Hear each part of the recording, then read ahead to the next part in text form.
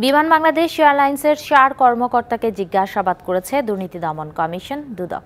তাদের বিরুদ্ধে মিশরীয় দুটি বিমান লিজ গ্রহণ প্রক্রিয়ায় অনিয়মের অভিযোগ রয়েছে।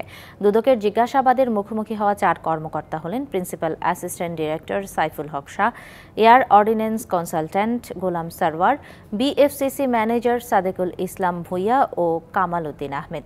এর আগে গতকাল জিজ্ঞাসাবাদ করা হয় মেইনটেনেন্স প্রধান প্রকৌশলী S M Siddique, principal engineer S M Hanif এবং এমসিসির প্রিন্সিপাল ইঞ্জিনিয়ার দেবেশ চৌধুরীকে।